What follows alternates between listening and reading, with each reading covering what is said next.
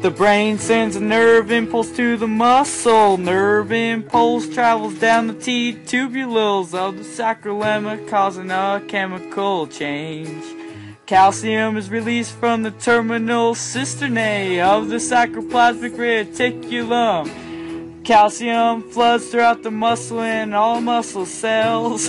Calcium inside the muscle cell binds troponin.